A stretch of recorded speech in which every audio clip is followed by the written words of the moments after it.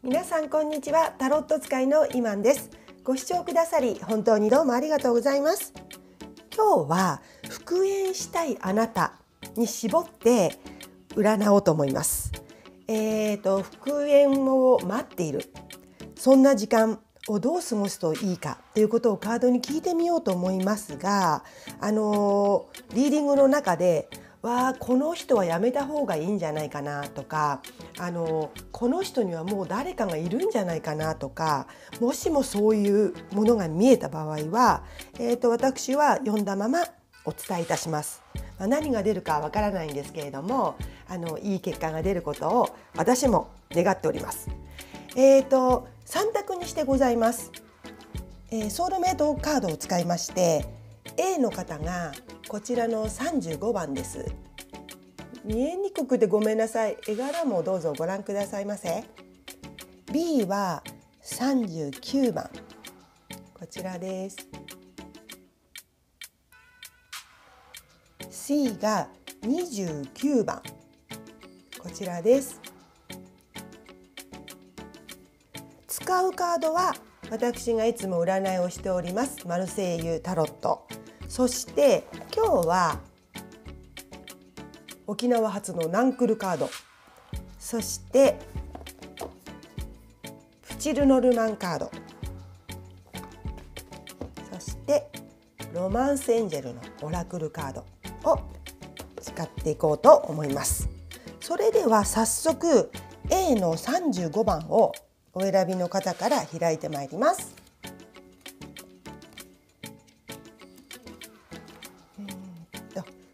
ナンクルカードは2枚ですね。シンプル。ワクワクチンドンドンですね。そしてマルセイユタロットは忍者の聖一。ロマンスエンジェルはトゥルーラブですね。そしてプチルノルマン22番。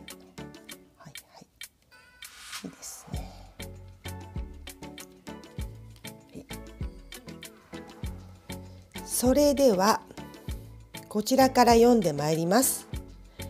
えーとねこれはいい感じですね。あのお相手はあなたに本当にピュアな愛を抱いておられますね。うん、であの本当のあの純粋な愛なので2人の間に起こる問題というものをちゃんと乗り越えてくれる人です。今どうしてお別れしたのかということはまあ私にはわからないんですけれどもあのそうですね何かうん物理的な事情とかあったんでしょうかね。うん、なんかアドバイスとしてあの多様な多様な考え方があるよっていうことを言ってますね妥協も伝えてますしこれは複雑だけどあの代わりの、ま、代替案があるよとかなんかそういうこと伝わってきますよ。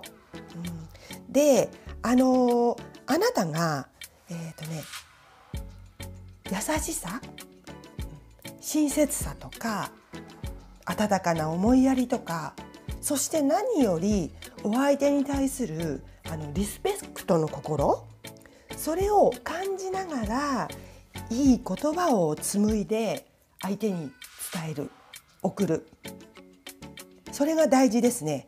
えーとね正直で素直にこれが一番ですね。うん、なんかねこの絵をお選びの方はちょっとねこういうところがありますねこのカードから読み取れるのは。あの不安とか恐れそういうものが原因で相手にこうあのなんて言うんだろう。あのあのそうですね。女性ならばまあカッターぐらいを持ってシャッシャッシャッシャッってあもう来ないでみたいな感じでシャッシャッシャッシャッとこうあの振り回している。もうやたらめったら。なぜ振り回すか。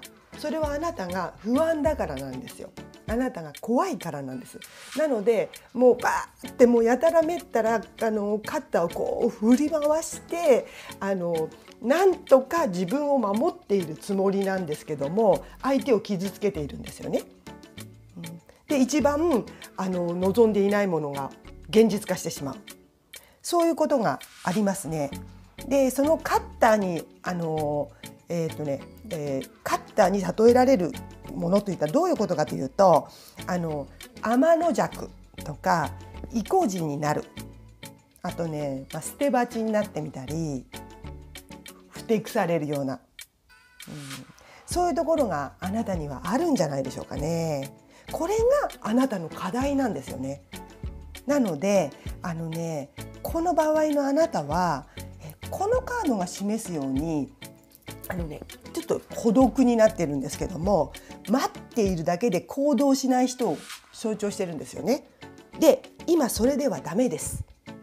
あのお相手に連絡が取れるのであればいい感じで連絡を取ってもうあの今までに見せたことがないぐらいもうあなたにすればとても恥ずかしいかもしれないですね。とかあのそれ自体も不安かもしれないですけれどもとにかく正直で素直な心そしてあの何よりも相手へのリスペクトというものを忘れずにそれそれを心に抱いたままあなたの正直で素直な思いを伝えてください。ね、本当にあのもうそれこそ捨て鉢になるのではなくて捨て身になってあの正直に伝えてください。そうするとこのお相手はあなたに純粋な愛を抱いている人なので大丈夫ですよ。はい、今のあなた待っているだけではダメです。はい、では A の方以上にしておきます。次 B の39番をお選びの方開いていきます。メンソーレですね。ティーダの心。そしてマルセイユタロットは手品師の聖一ですね。ロマンスエンジェルは This could be the one ですね。はい。そしてこちら3番。ルロンのマンカードは3番ですね。ちょっと3が多いですね。はい、ではこちらから読んでいきますね。これねあのいい結果ですね。あなたが思っている以上にですよ。お相手はあなたにとってかけがえのない人ですね。うん、なんかね例えばあの見た目とかあとこう醸し出す雰囲気、ね、そういうタイプみたいなものとかあなたがこうお相手に求めている例えば職業だとかそういう条件があなたの理想とは違うんですよね。なのであのもういいかって思ってみたりもしていそうなんですけれども実はとってもあなたにふさわしい大本命ですよ。うん、であのこの待っている時間というか復縁を待っている時間の過ごし方なんですけれどもあのね活動的にしてください。うん、あのね太陽も出てますよ。とにかくねお茶目であのもう太陽のような明るさもうエネルギッシュにあの活動的に言ってください。これはお相手に対してあの何か連絡を取った方がいいということです。うん、あのあんまりするとストーカーみたいかなとかでとかプライドとかで知らん顔してよとかそういうのではなくて活動してください。であのちょっとねあのなんていうの少し策略的なずる賢い感じが成功を導きますね。成功は復縁ですよ。を導きますね。あのねお相手の好むものを送ってください。えっ、ー、とねまあ言葉であれ。もうあのお付き合いしていたわけですからわかるでしょ。どんな言葉が相手が嫌いだとかこんな言葉を相手は好きだなとかそういうあの好きな言葉を送ってあげたりもちろんあなたのこう見た目なども相手の好みに合わせてみたりあの相手の好きな食べ物を送るとかそんなのもいいんですよ。あとね気持ちあのお相手はこういうふうにな感じで接してくれたら喜ぶんだよなとか思うことありますよね。それを伝えてください。あの、えーと今のあなたはありのままのあなたというよりむしろちょっと策略的になった方がいいですね。うんそんなカードが出てますね。これあのちょっとなんとなくあの遠距離の方とかもいらっしゃるんでしょうかね。うんなんかあのね憧れっていう言葉も出てきますね。これ今の私にちょっとピンとは来ないんですけど何のことを言っているのかあなたわかりますか？うんはいではあの以上にしておきます。次。C の29番をお選びの方開いていきます。ひらめくきらめくですね。クリエーション。そして太陽の逆位置ですね。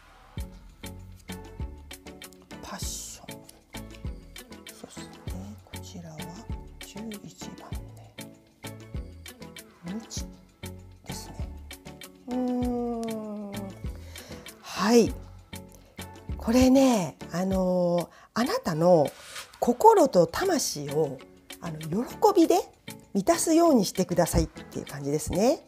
あのあなたの趣味とか何かの活動とか好きなものなどにあの打ち込むというかあなたね今の多分情熱っていうものを失っているんですよね。であのお相手がいないことで張り合いがなくなっているっていう姿がこのカードからは見えますね。あのねあなたはあのそのお相手がいるっていうことが全てのやる気に実は直結していたんですよね。でお相手がいないとこう全部、まあ、あのいない状態もそうですし例えばお相手と喧嘩をしたとかそういう面白くないことがあった時はもうねあのあなたの情熱っていうのがガーッとこう活力みたいの下がるんですよね。うん、直結してるんですよ。であのそれならばですよ今お相手があのとがいない状態としてそのいやいない状態の時はあの情熱的に、まあ、お仕事でも趣味でも何でもあのとにかく難しいかもしれないんですけど没頭して楽しんでほしいんですよね。そしてまるでお相手を取り戻したかのようなエネルギー状態にしてしまうんです先に気持ちのレベルにしてしまうんですよね。